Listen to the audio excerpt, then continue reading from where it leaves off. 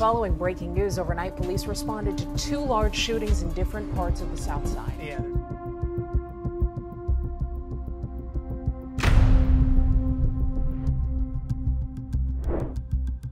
As we dive deeper into this intricate web of territorial disputes and affiliations, we aim to shed light on the forces that have shaped Chicago's gang culture over the years. The war that infected the streets of Chicago, those of the infamous O Block and Tookaville, lasted for years and took a large toll on the community. This widely known conflict has a deep history and it goes way back. Today, we will research the history of events that unfolded prior to the gang war that escalated between two of Chicago's notoriously dangerous blocks, explore why and how conflict emerged, and pay homage to all the victims and fallen warriors of this large-scale beef that went on for years. This is the story of O-Block and Tookaville, and their devastating war that forever changed the landscape of the city, our perception of gang life, and in doing so, gave hip-hop an entire new genre. The history of Chicago's gangs starts in the late 1960s. The transformation of the Black Disciples and Gangster Disciples only reached its decline in the mid-2000s. During this 40-year period, both gangs saw a significant shift in leadership. An important year that comes up often is that of 2004, when the crackdown on the Black Disciples took place, which led to the indictment of their leader at the time, Marvel Thompson, along with 41 other senior members. It started with a bang and a round of applause. All over Chicago, they're tearing down the cinder block dinosaurs known here simply as the Projects.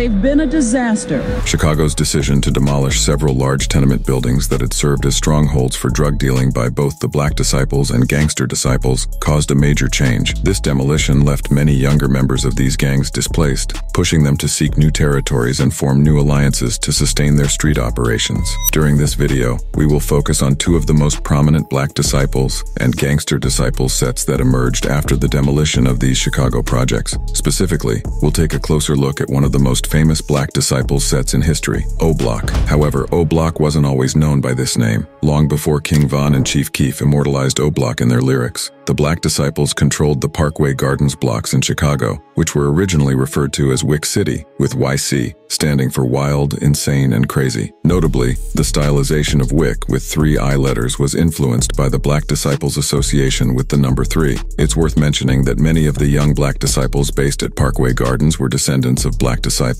who had worked under Marvel Thompson in the castle before the major bust in 2004. For context, it's important to note that the castle referred to a significant drug dealing operation run by the Black disciples in Chicago during a time when the gang was much larger and had a more structured leadership. However, as we move into the 2010, the Black Disciples in Wick City became less organized and essentially transformed into an emerging Black Disciples set composed of younger members with ties to the original castle operation. Many gangs emerge as a means of protection against rival groups. In the case of Wick City, their primary rivals are a couple of gangster disciple sets situated in neighboring blocks. One of these gangster disciple sets, known for their ongoing conflicts with Wick City, is the St. Lawrence Boys or STL. This particular crew is based on 63rd and St. St. Lawrence Street. This location is precisely why figures like King Von frequently diss individuals from the 63rd area.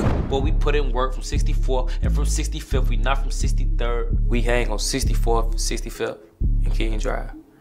And on 63rd, over here kind of to the left, they dirty and stuff. They be up there just doing stealing and doing all type of petty stuff. So we don't go up there with them because they be dirty. Oh, I don't know, something ain't right up there.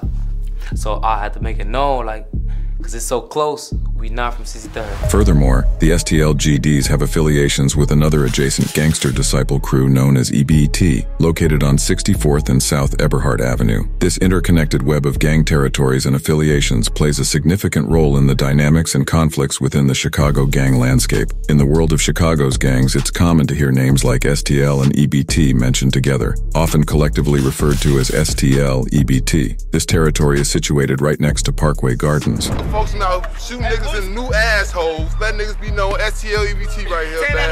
Shout out to the game, man. Ain't no none of that shit. Yeah, man. Free guys, man. You already know, man. Hey, what block I'm on, man? Man, you on EBT, man. This E right here, man. It's challenging to pinpoint a single event that sparked the intense rivalry between these two groups. The reality is that some of this animosity dates back to their high school days when members from these areas engaged in typical schoolyard fights. However, these seemingly minor conflicts escalated into deadly violence once these individuals grew old enough to access firearms, possibly with older BDs and GDs from their respective areas fueling age-old feuds that may have roots dating back to the days of Marvel Thompson and even earlier. It's crucial to remember that many of the people involved in these stories are essentially children or teenagers with tragically short lives. This fact adds an extra layer of tragedy to the events that unfolded over just a few years. Now, turning our attention to Parkway Gardens, where the Wick City Black Disciples, BDs, made their home, it gained notoriety as one of the most dangerous blocks in both Chicago and America. This reputation was primarily the result of an alarming surge in shootings that occurred between 2011 and 2014. I got a 10-1, police 10-1, 6330 South King. Four barrel. We got one more shot. Got another person shot. We got one male piece. It's evident that Parkway Gardens' reputation for danger was a direct consequence of the events that unfolded during this feud. Moreover, it owed much of its notoriety to the presence of highly dangerous individuals who occupied these blocks during that time. Some of the names associated with the Wick City BD enforcers of the 2010s may ring a bell, especially if you've listened to popular Chicago drill music in recent years. The most renowned figures from this era include Chief Keef and King Von. Chief Keef, hailing from Parkway Gardens, wholeheartedly represented O-Block and another BD-affiliated set known as 300 in his music. While Chief Keef cultivated a reputation for street toughness and trap music, he never claimed to be an assassin. His eventual focus on music development might have played a role in ensuring his survival. In contrast, King Von, a Parkway Gardens veteran, was known for allegedly being involved in multiple homicides and openly acknowledging it in his music. Even in the early 2010s, King Von proudly displayed his BD affiliation on social media, representing Parkway and expressing unwavering loyalty to his gang. Among the other notable figures in the Wick City BD set were feared individuals like HK and J Money, also known as J Mana. Additionally, there was King Von's close BD associate, T Roy, with their bond becoming increasingly significant as our story progresses. In fact, King Von used to go by the name V Roy on Twitter as a nod to their strong connection, and his Twitter handle still retains the reference Fram de Wick, signifying his origins in Wick City. Other Wick City members who held it down alongside King Von and T Roy included Big A, OD, Trey 5, Platoon, Boss Money, Sheroid, Duke, Ra Ra, aka Reezy, and Boss Top. Boss Top, like Chief Keef, transitioned into the world of rap and even released a song titled Wick City. However, he later had a falling out with Chief Keef after allegedly stealing clothing from him. These were the Wick City BDs fiercely defending their block, ready to confront their rivals with determination frequently signaling their readiness with GDK hand signs, signaling their intent as GD killers who were unafraid to act. On the STL EBT side, they faced off against a few individuals who might be familiar to you if you're well versed in Chicago's drill culture. Among these figures, one name that stands out is Gakirah Barnes, known as KI or Key. She was a young female hitter and had a close friendship with fellow member Tooka since childhood. Another significant member was FBG Butta, who, alongside KI, formed a dynamic duo affectionately referred to as the Twins. Other members within STL EBT and the broader Flyboy gang included individuals who were more focused on making music. This group included names like FBG Brick and the legendary FBG Duck. Another musically inclined member repping FBG was Lil J, who lived in STL and later formed closer ties with them, although he primarily had disputes with the 600 gang that ran adjacent to this feud. Additionally, there were individuals like Little B and Wooski, the latter often dubbed King of the Ops. Boss Trell and Little Doc also had notable roles in this dynamic. It's worth noting that while this list covers prominent members from STL EBT during the mentioned period, there may have been additional figures in later years who aren't included here. So now that we've introduced the background and key individuals involved, let's delve into the actual storyline. This will provide us with a more in-depth understanding of how the events unfolded,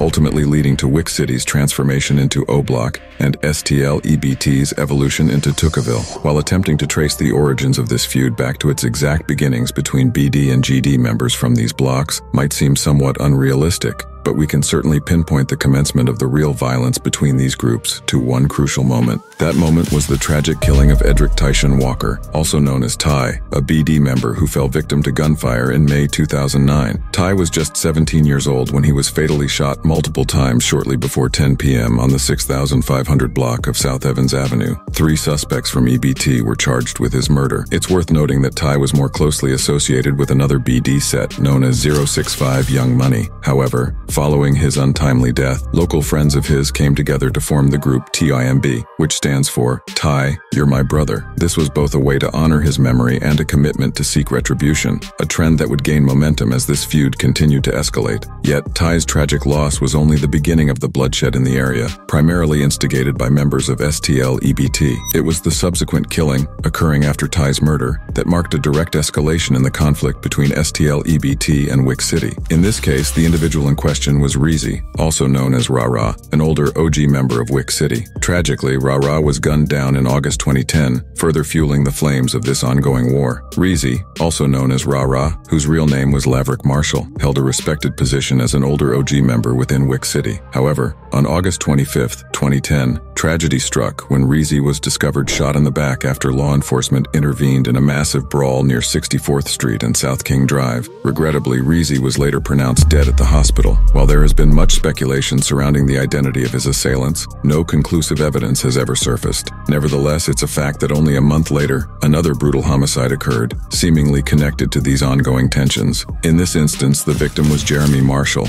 also known on the streets as Little Four, and he happened to be a blood relative of STL member FBG Kells. Jeremy lost his life on their turf when he was approached near 63rd and Rhodes Avenue by two individuals. One of them brandished a firearm and opened fire, shooting Jeremy in the back as he attempted to flee before tragically succumbing to his injuries. The shooters hastily fled the scene in a vehicle. Once again, the identity of the perpetrators remained unclear. However, intense speculation suggested that the culprits might have been affiliated with the Wick City BDs. Some even went as far as connecting this incident to Odee Perry from Wick City, who had garnered a reputation as a shooter during this period. While this connection couldn't be definitively established, it's likely that retaliatory acts between Wick City and STL EBT unfolded in the months that followed. This sequence of events ultimately brings us to January 2011, where we encounter a name that would become all too familiar in the Chicago drill scene, Tooka.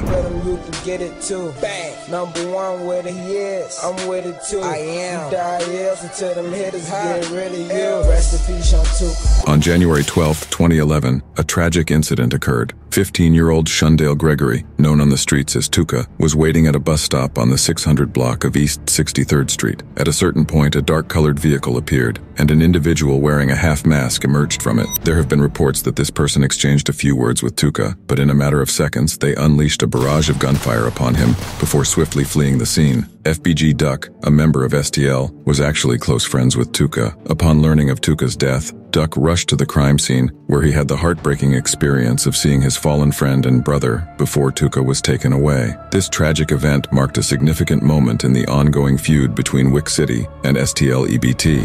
Yeah, real close. Everyday friends. Tooka tragically lost his life at the scene, with paramedics unable to save him. The responsibility for Tooka's death remains unclear, but it's essential to understand the context of this tragedy. TIMB members were determined to avenge their friend Ty's death, targeting an STL EBT member. Conversely, Wick City members sought retribution for what had happened to Reezy. However, regardless of the motives, Tooka paid a heavy price for his affiliation with STL EBT. In response to this devastating loss, STL EBT decided to rename their neighborhood Tookaville in honor of Tooka and as a pledge to seek vengeance. Members like FBG Brick passionately upheld Tooka's memory. It's worth noting that in response to these events, members from TIMB and Wick City formed an alliance, anticipating retaliation from Tookaville. In the face of Tookaville's intense desire for revenge, a fervent desire to disrespect Tooka emerged from the BD side. As you may know, Tooka's name has been the subject of numerous disses in hip-hop over the years. Initially, GDS from Tookaville, including FBG Duck, claimed they were smoking Tooka out of respect for him. This claim was reminiscent of the old story about Tupac's crew, the Outlaws, allegedly smoking his ashes in a blunt after his death. However, BD opponents from Wick City immediately turned the narrative around and started mocking Tookaville. Chief Keef's 300 track contained the iconic diss line, and this sentiment was echoed by other members. Beneath the surface of social media trash talk, a more sinister undercurrent existed. As mentioned briefly earlier, one of Tooka's closest childhood friends was a young girl named K.I., who gained notoriety as a teenage assassin, allegedly responsible for 17 homicides by the age of 17.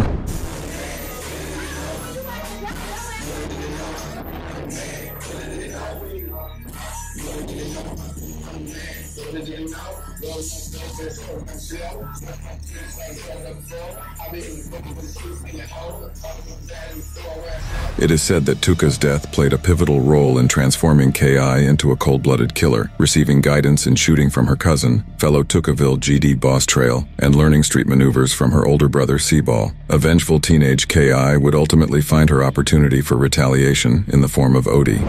yeah, I used to be. With, I used to be with OD, the, the person who they named O Block after. That's who I used to be with.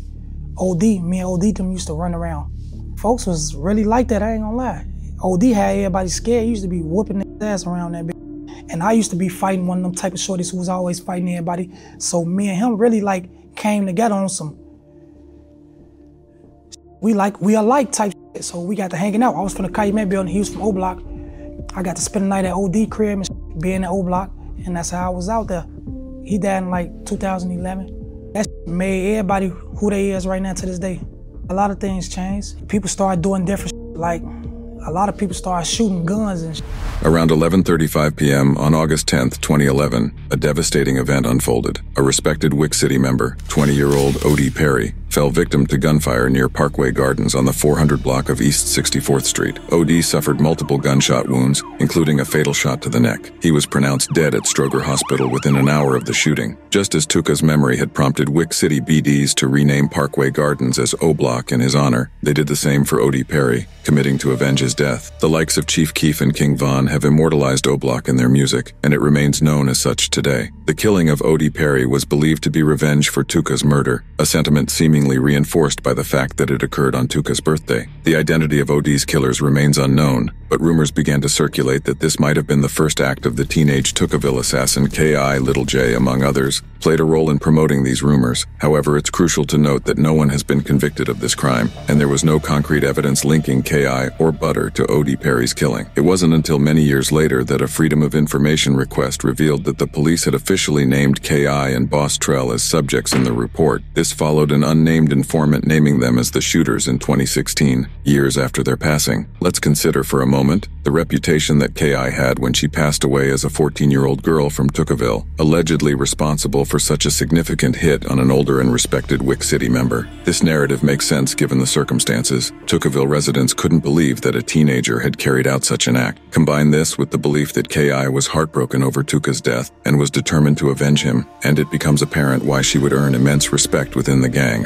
Her alleged involvement in Odee Perry's incident was further fueled by tweets in which she dissed Odee, echoing the way O Block members had spoken about Tooka in the past. One astonishing detail from this story is the rumor that Odee Perry had a large .357 or .44 Magnum, which he was known for flaunting. The story goes that K.I. took this gun away from his body after the hit, a rumor supported by the fact that she seemingly flexed an almost identical gun on social media in the years that followed, almost as a trophy. While the exact details of this situation may never be known for certain, K.I.'s alleged role in the event that solidified O Block as O Block undoubtedly contributed to her fearsome reputation. Following Odee Perry's killing, a relentless cycle of tit-for-tat violence between O Block and Tookaville ensued, lasting nearly two years. This bloodshed would have far-reaching consequences beyond just this feud, marking a dark chapter in the Chicago gang landscape. On October 19, 2011, a tragic incident unfolded involving Edward Riley, also known as Platoon from O Block. He was walking with his girlfriend on 63rd and King Drive when two suspects approached them. They gunned him down just one block south, near 64th Street, closer to O Block itself. After this act, the suspects proceeded further down the block, where they shot a 15-year-old in the head, who miraculously survived. Unfortunately, Platoon was not as fortunate and did not survive. In Platoon's memory, albeit briefly, people began to refer to the area as Toontown. However, the name O'Block ultimately persisted.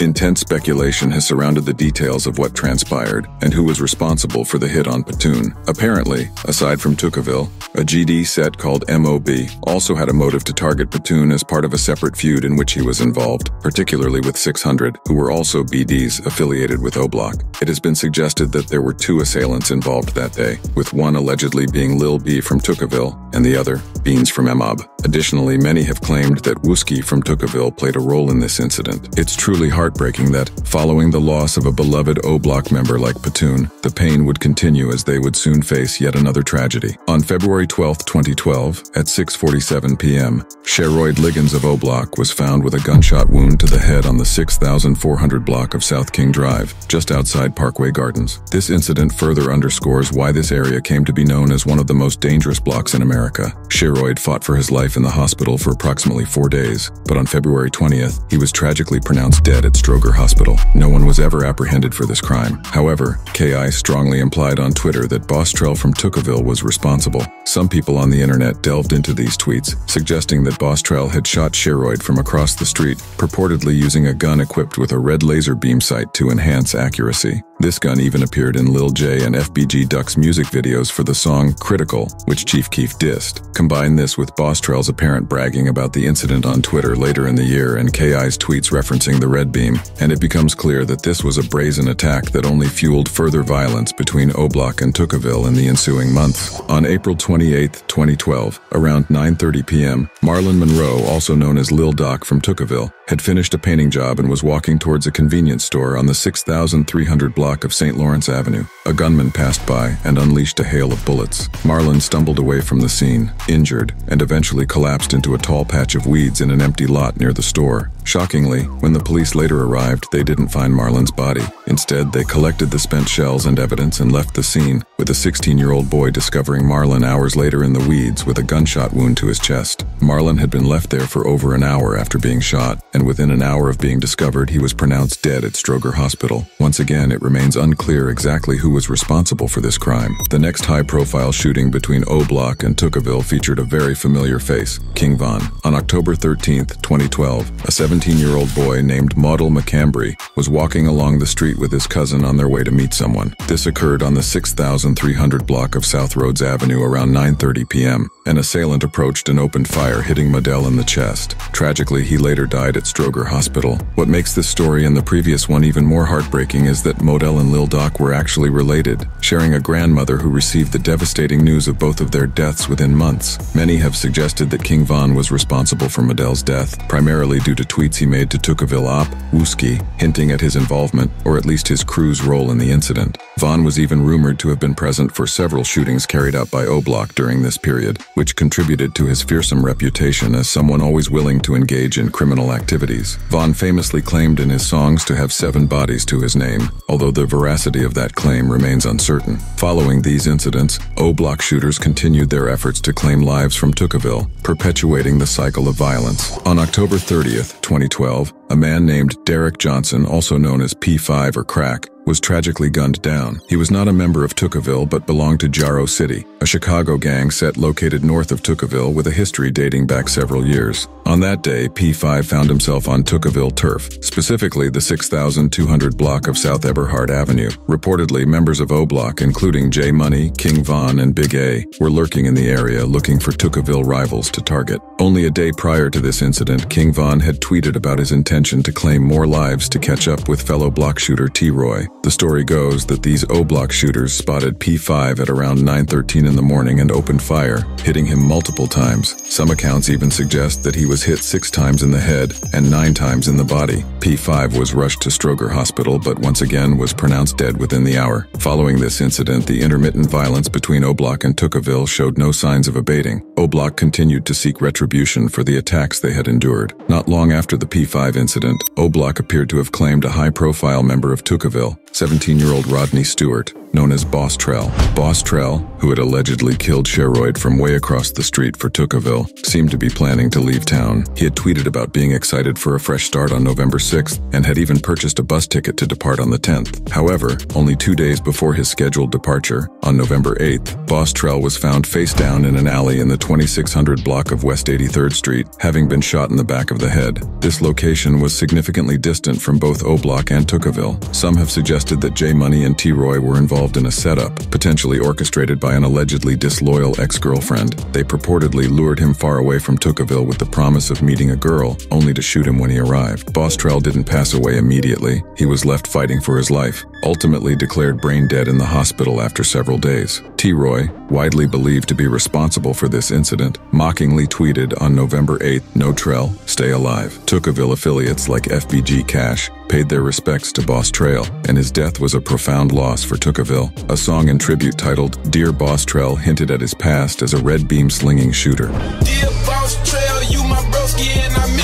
On the other side, O-Block celebrated their perceived retribution for their fallen brother, Shiroid. However, Boss Trell's death would set the stage for a dramatic act of vengeance. On September 2, 2013, Jerome Wood, also known as J Money from O-Block, was allegedly set up in a manner eerily similar to how Boss Trell had been set up. J Money had apparently gone to a location on the 6600 block of South Rhodes Avenue around 2 p.m., seemingly under the pretense of meeting a woman he knew. However, upon arrival, he was met by Lil B and KI from Tookaville. He reportedly tried to escape by running down a gangway into an adjacent property, but tragically he was shot in the head and collapsed outdoors, ultimately succumbing to his injuries. Tweets from other gang members suggested that this incident was a direct act of retaliation for P5, Boss Trell, and other previous conflicts. After this incident, KI tweeted about shooting people in the back of the head, leading many to speculate her direct involvement in this particular incident. Ironically, within a year, another Tookaville member, Lil B, who had supposedly been present on the day of J Money's shooting, was killed by the Chicago PD on March 28, 2014. He was reportedly chased by the police, who had observed a suspected drug deal.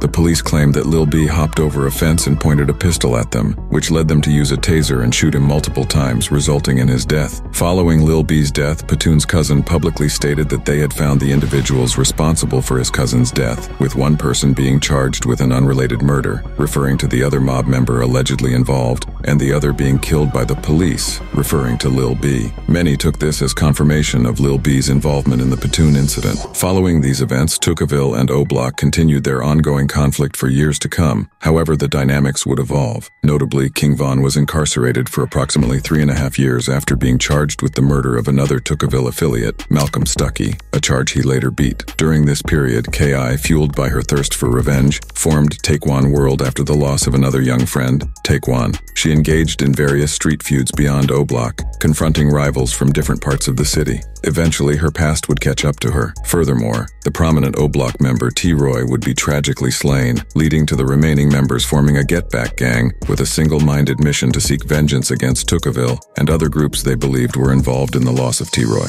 As we conclude our journey through the turbulent history of O-Block and Tookaville, it's essential to reflect on the lessons we can draw from this tale of violence, loss, and revenge. This narrative is a stark reminder of the devastating consequences of senseless killings and the toll it takes on communities. In the heart of Chicago, these neighborhoods have witnessed a cycle of bloodshed that has left families shattered and communities torn apart. The stories we've explored serve as a poignant reminder that the pursuit of vengeance only perpetuates a never-ending cycle of violence. But it doesn't have to be this way. We must come together as a community, as a society, and recognize that the path to a brighter future begins with a commitment to peace, unity, and understanding. We must strive to break the cycle of violence that has plagued our neighborhoods for far too long. Let us remember the lives lost, the families forever scarred, and the communities yearning for healing. It is in our hands to make a difference, to create a safer, more hopeful environment for the generations to come.